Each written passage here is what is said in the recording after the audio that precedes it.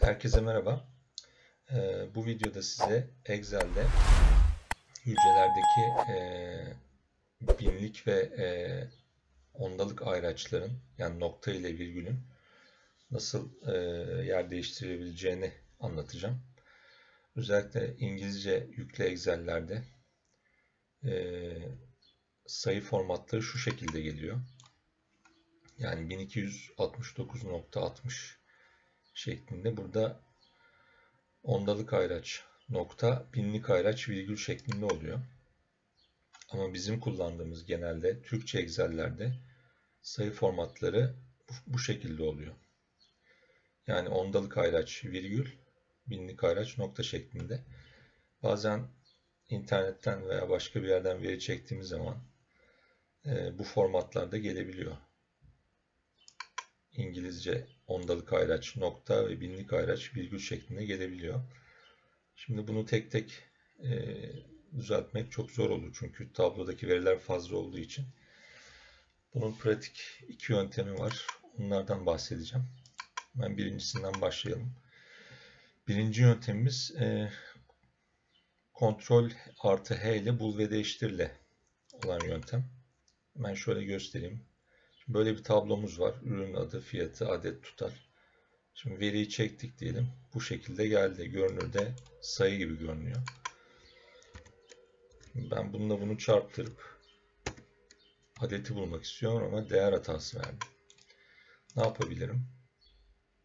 Bunu düzeltmek için hemen Ctrl H yani bul ve değiştir tuşlarına bastık. Aranan değer. Şimdi biz ne arıyoruz?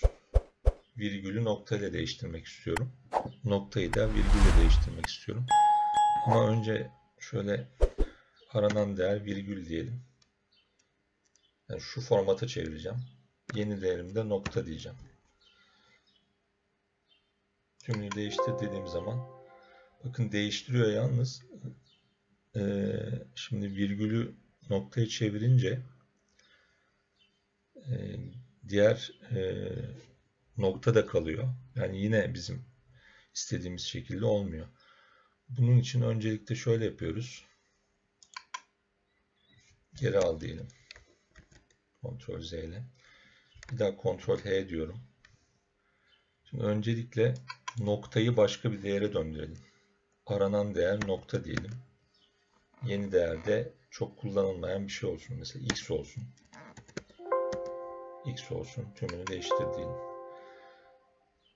Gördüğünüz gibi şuradaki noktaları x'e çevirdi. Şimdi tekrar kontrol H diyorum. Şimdi neyi arıyorum tekrar? Virgülü noktaya çevireceğim. Aranan değer virgül. Yeni değer nokta. Tümünü, de, tümünü değiştir dedim. Bakın değiştirdi. Şimdi buradaki çarpıları da tekrar şu formattaki virgüle değiştirmem lazım. Bunun için yine kontrol H diyorum. Aranan değer x yeni değerde virgül olacak. Virgül tümünü değiştir dedim. Tamam dedim. Bakın gördüğünüz gibi otomatik değer hataları düzeldi. Çünkü artık Excel'in, Türkçe Excel'in sayı formatı bu şekilde olduğu için otomatik Excel bunları hesapladı. Şimdi bir yöntemi daha var. O da veri hızlı doldurma ya da kısa yolu kontrol artı E ile. Yine bu şekilde bir formatımız var. Ee, sayılarımız yine bu şekilde. Bakın şöyle bir hesap yapmaya çalışalım. Mesela burası çarpı 10 diyelim. Yine değer hatası verdi. Bu sefer şöyle bir yöntemimiz var. Ee, hızlı doldurma yöntemini kullanacağız. Şöyle veri e, hızlı doldurma. Bunun kısa yolu da kontrol artı E'dir. Şimdi öncelikle e, doğru formatımızı bir tanesini şöyle yazıyorum. 145. Şimdi bakın burada 145,512.59 yazıyor. Şimdi ben 145.512,59 yazdım. Enter'a bastım. Şimdi bir tane daha yazıyorum. 198. Tabii tek tek yazmayacağım. Bakın zaten Excel ikinci kere yazdığım zaman bunu şurada şurada silik şekilde gözüktü gördüğünüz gibi. Burada Ctrl artı E'ye basıyorum. Ve Enter'a basıyorum. Bakın gördüğünüz gibi Excel zaten benim bu işlemi yaptığımı algıladı ve doğru sayı formatlarını çevirdi.